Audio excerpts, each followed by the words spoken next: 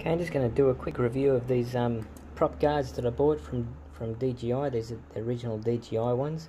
As you can see, um, prop guards have a cutout here for the front section. That's for the landing pads. They fit into there. Uh, the reason why I bought them is I just wanted them for indoors. And I suppose uh, the, the cons, uh, the pros for buying would be uh, if you've got kids or if you're flying indoors. Outdoors, probably around trees and the other thing is you can see it. You can see it very easy. Otherwise um, the DJI, DJI gets about 200 meters away and you can't see it especially with clouds. Probably some of the cons would be the weight. Uh, it does weigh it down a little bit but not much but also the wind. If in low wind it's no problem but higher winds I suppose the winds would um, catch us a little bit more than without the prop guards on. So uh, that's another thing that you've got to consider and um, what I found as well is uh, once you get 100 meters, if you clip these things on, you get 100 meters away and it says that you've reached the maximum limit. So what you've got to do is you go into the settings, I think it's, um, I'll go into it on the screen a bit later on, but it's in the payload section, so you've got to change that. So once you change the payload, then your drone will do the flight to its um, 10Ks or 7, 8, 9, 10Ks, whatever but just remember that in wind you're going to be running your battery low uh, with these things on because it, the wind resistance of these will cause a little bit more of a battery drain. Um, other than that there are other guards that you can get but I opted for these ones because they're smaller. You don't want um, too much wind resistance on your drone because you will lose a lot of the a lot of the um, battery power. So um, Yep, so what I'll do now is I'll show you how to clip them on. So what I do normally, I'll just show you the, the box quickly. Here's the box that'll come in. See DJI. There are other brands that you can get which is a full guard but it's I think they're too heavy and too much wind resistance so uh, I prefer to buy these ones. So what I normally do is um, you just push the propellers down like that on either side. And then all you do is you've got these clips down. Both clips are down. And as you can see you loop it over the top there for the first one. And through the bottom there push it up. Turn the propellers around again. Oops.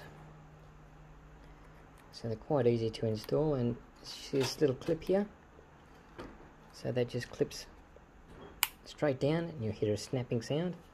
And there's another you see this one here? You just flip that over and you push it down like that. And that's one on. It's pretty very easy to clip on. And you do the same on the other side. So you just put the propellers down like that. Put it straight over the top straight over the top in there that's the hardest one to get in is that front one. The back one's just simple as put it in. Once it's in you just clip it into place push it down a bit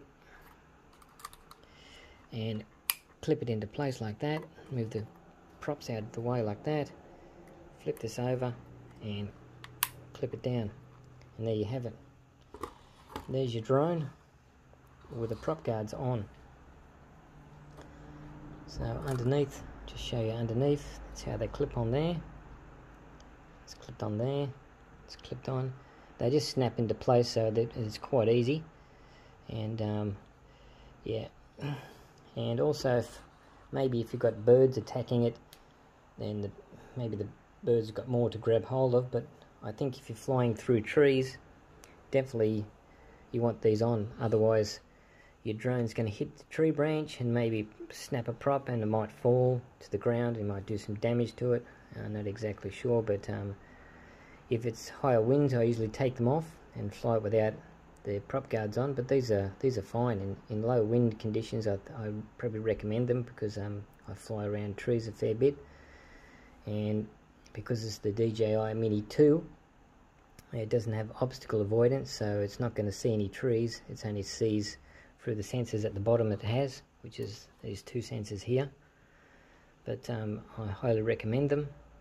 you don't have to fly with it all the time but um, make sure when you do fly that you go into the settings in the payload section and, and clip um, turn the payload section on and it will um, adjust and it'll get the range out of it that you need okay I'll make another video in a second and we'll show it in flight and also show you the settings on the screen that you go into to to erect the problem of uh, the payload.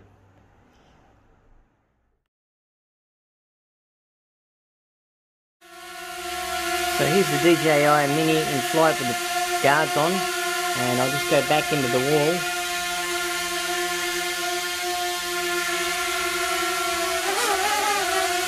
So as you can see there's no problem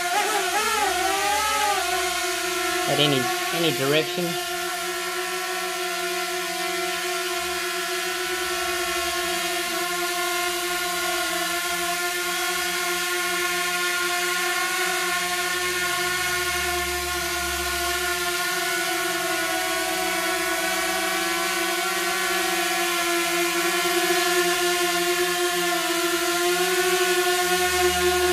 So the prop guards are fastly held on.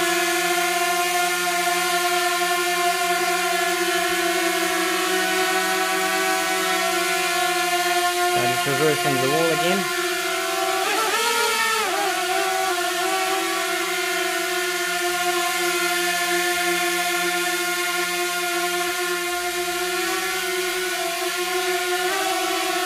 So it's hitting the wall there and there's plenty of room, plenty of distance that you can, um, can fly it at.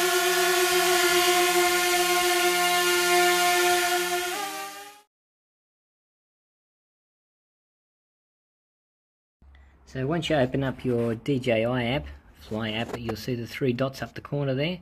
Once you go into your flight mode, uh, you see three dots up the corner, right hand top corner. So you click on that.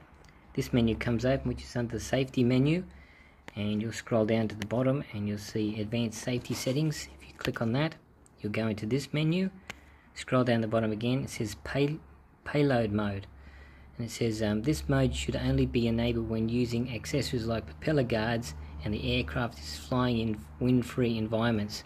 So all you do is you um, you turn that on. If it hasn't automatically detected it uh, sometimes it doesn't. I've when I've flown it with it and it hasn't detected it. So um, you just turn that on and that blue light will come on there. And just go back and you can should be able to fly more than 100 meters with um, with that setting on okay I hope this helps